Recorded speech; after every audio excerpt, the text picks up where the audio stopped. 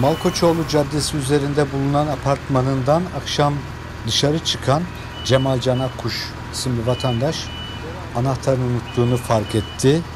Kısa süre sonra ne yapacağını şaşıran Cemal Can Akkuş isimli vatandaş anahtarını unuttuğu evine girmek için evinin altında bulunan lokantanın tentesinin üzerine çıkarak oradan balkondan geçerek evine ulaşmak istedi. Ancak umduğu gibi olmadı.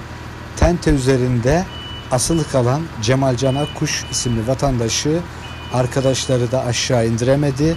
Birinci katta mahsur kalan Akkuş Tekirdağ Büyükşehir Belediyesi'ne bağlı itfaiye ekiplerinin olay yerine çağrılmasının ardından gördüğünüz gibi uzun süren uğraşlarla önce Akkuş tente üzerinden aşağı indirildi ve ardından da itfaiye eri Akkuş'un balkonundan içeri girerek unuttuğu anahtarı alarak kapıyı da açarak Akkuş'u mahsur kaldığı birinci kattan aşağıya indirdiler.